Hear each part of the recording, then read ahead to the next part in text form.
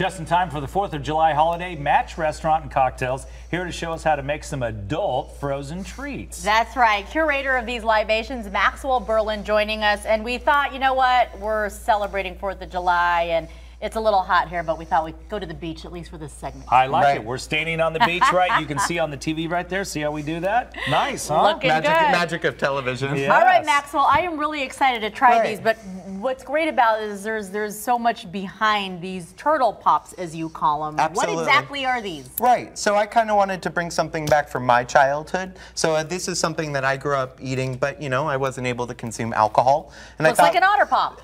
Bada bing, bada Right? boom. There you go. Uh, but we make these in house. We make all sorts of different flavors that change.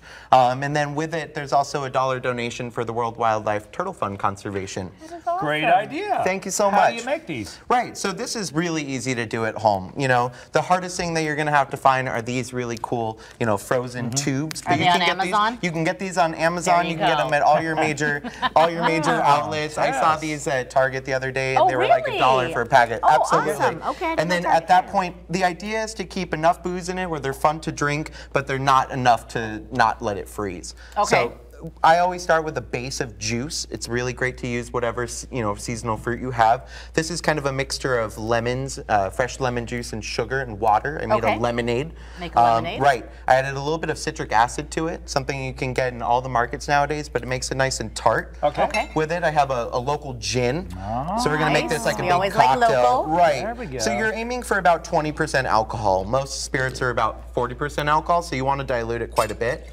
But there's a nice big cup of gin there. And then to make it fun, you know, you have all these different really Oh, cool that's where you get liqueurs that we make. Everything from red to violet, the whole spectrum. Uh, for 4th of July, we have really cool blue one that we're gonna this. be making. So this is blue curacao. And this is something you can get in all your major markets. You can get this at the grocery store, Total Wine, Bevmo, and make it.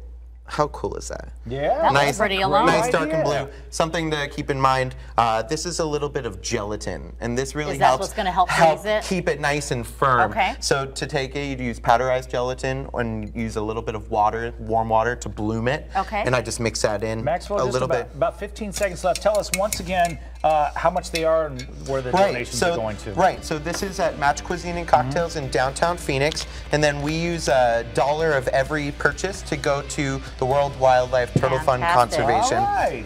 Let's Great get this idea. party started, up. There guys. you go. Support them Thanks, at guys. Outmatch. Cheers. Happy 4th. This